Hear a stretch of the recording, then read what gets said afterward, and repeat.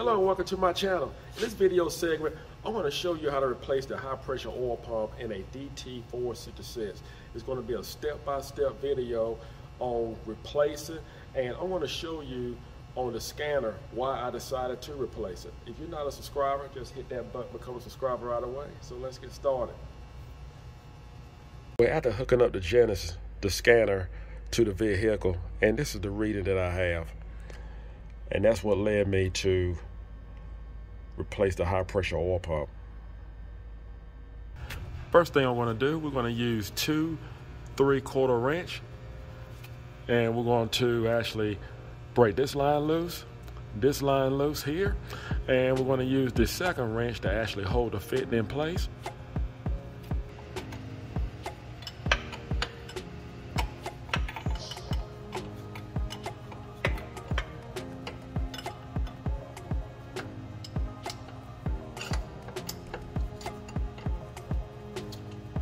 Back here and break this line loose here. Just to remove this line altogether.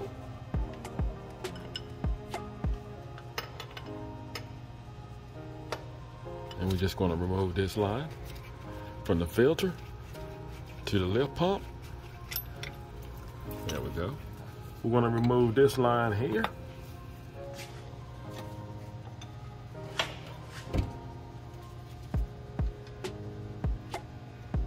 Next, we're going to remove this clip.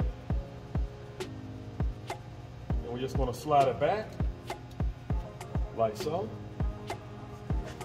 All right, now it's time to remove some bolts. We need a 10 millimeter. We're going to remove this bolt right here. And we're just going to come along the back side. And it's going to be a little tight.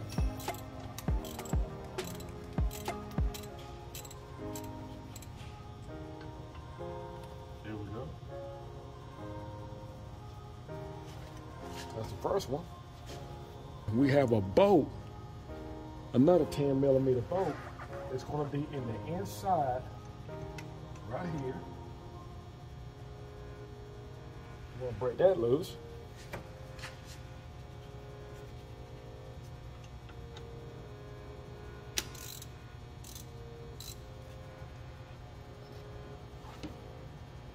There it is. And now we have both of those bolts out all we have to do is just wiggle it and work it on out. There we go. This is your hot Well, here's our old pump. We know that's not any good. So we're just gonna move that to the side. Here's our new pump. Part number and the price and there is a core on this.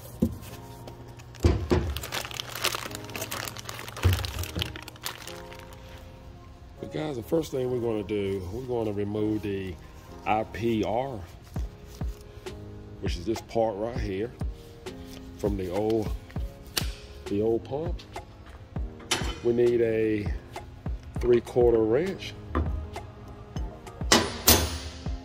just to remove this nut.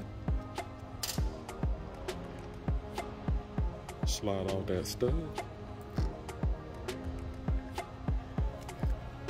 We're going to use an inch and an eight to remove this this section here. Might have to put in a vise. That's what we're going to do. Again, we're going to put an inch and an eight wrench on here.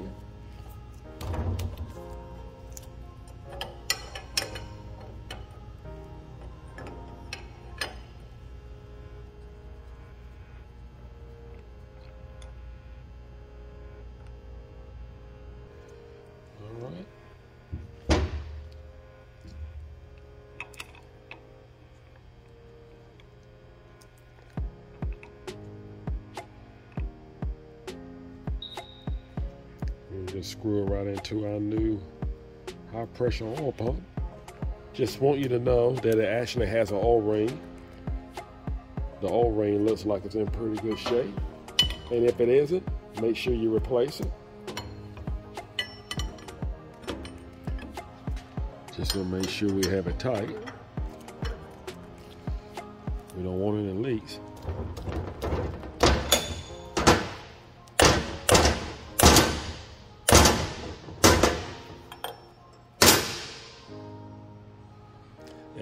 And while we're having an device,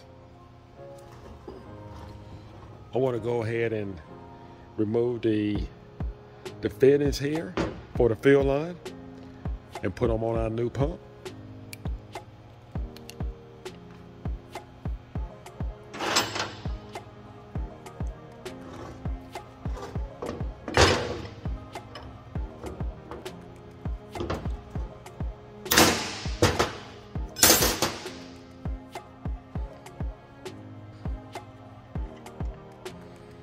And if you notice, they have a brass ring here. And we're just going to screw around. Now, you can take time to put some thread tape on the threads if you choose to do so. I think we'll be okay. Let's go ahead and put our our valve back in place.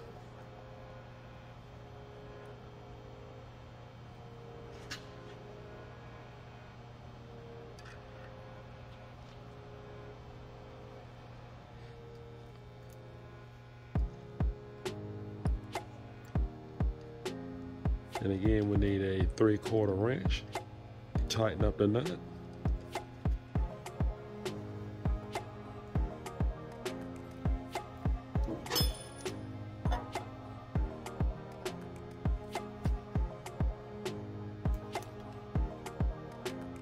That should do it.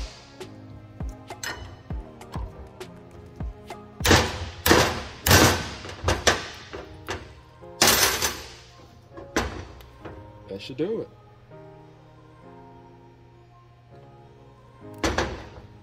Just make sure you pull out your old gasket, remove it, and you may need a small screwdriver, or need a nose pliers or O-ring pick, and just and it has a cutout, and just install your new your new gasket. We're going to install our new high pressure pump.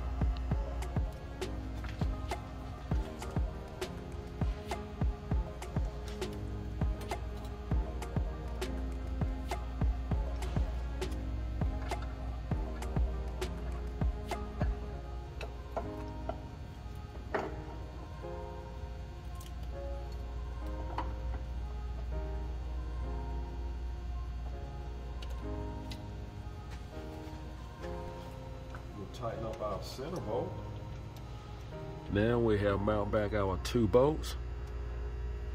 The one on top here and the one in the center that goes in the middle of the pump. And what we're gonna do now, just gonna reconnect our fuel line.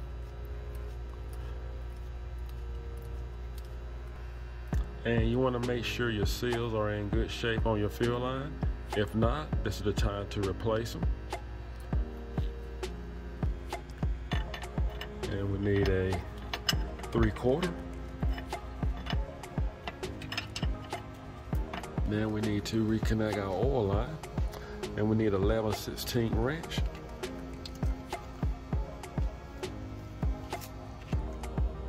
Next, we're going to reconnect our harness back to our IPR.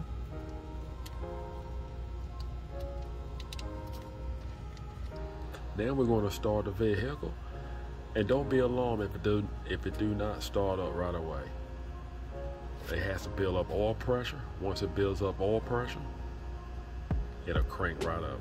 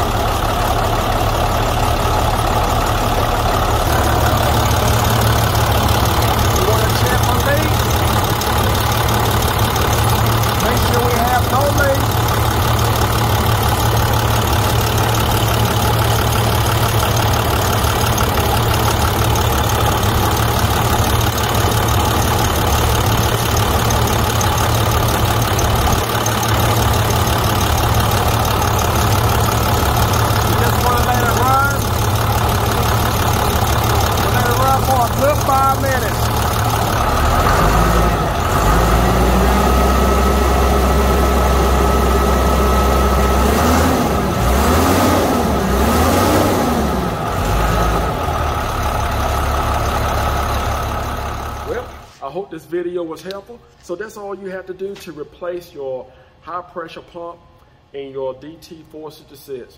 Just go step by step with what I did and you cannot go wrong. Listen, I do want to point out one thing. Those two bolts, those two mount bolts, be extra careful when you tighten them in. Try not to tighten them too tight because you can strip out the threads.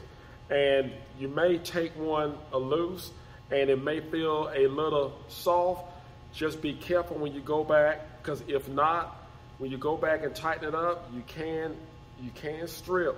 And it would actually you would actually have to put a cold roll kit in it. And you do not want to do that. But I was hoping I would not have to do that. But if I did I would have filmed that in the video too as well. Listen thank you for watching do not forget to subscribe. Do not forget to hit the notification bell to let you know when I have a video that actually comes out. Take care and God bless